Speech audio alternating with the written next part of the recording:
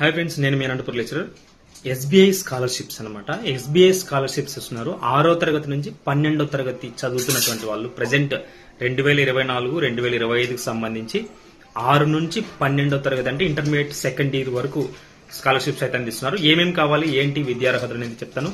ఖచ్చితంగా ఇలాంటి videos share చేయండి. సేవ్ చేసుకోండి. మీ ఫ్రెండ్స్ ఖచ్చితంగా షేర్ చేయండి. తప్పకుండా యూజ్ అవుతుంది.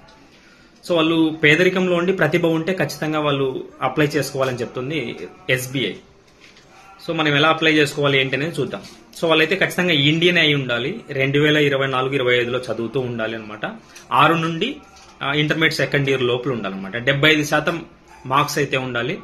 యాన్యువల్ ఇన్కమ్ వాళ్ళ ఫాదర్కి మూడు లక్షలు అయితే ఉండాలన్నమాట సో ఫిఫ్టీ పర్సెంట్ గర్ల్స్కి ఫిఫ్టీ పర్సెంట్ బాయ్స్కి అయితే ఇస్తారనమాట పదివేల స్కాలర్షిప్స్ ఇస్తున్నారు వీళ్ళు ఎస్బీఐ వాళ్ళు.